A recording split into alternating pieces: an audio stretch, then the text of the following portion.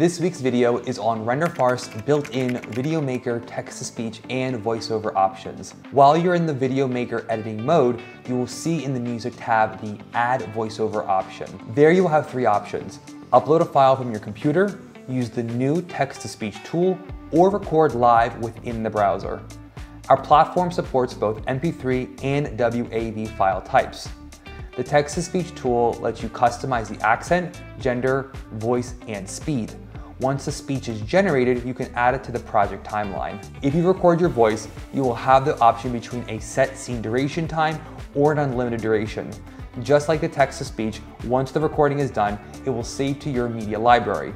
Then you can add the recording to your scene or full project. For a better syncing experience, it can help by recording scene by scene rather than the whole project. To edit the text to speech or voiceover scene by scene, use the yellow timeline at the top of the screen to pick your scene.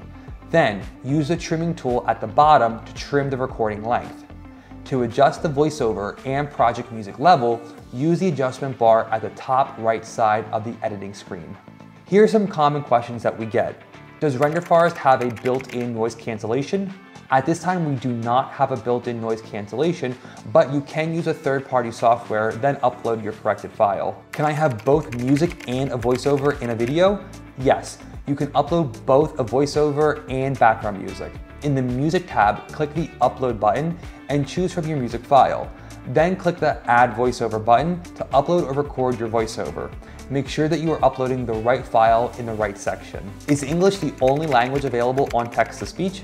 No, we have 10 languages and even accents available for you to choose from on the text-to-speech tool. We suggest editing all your video scenes first, then at the end, add your text-to-speech or voiceover. We can't wait to see what you create on RenderForest. If you upload your project online, tag or mention us so we can see. Let us know what questions you have. We're always happy to help.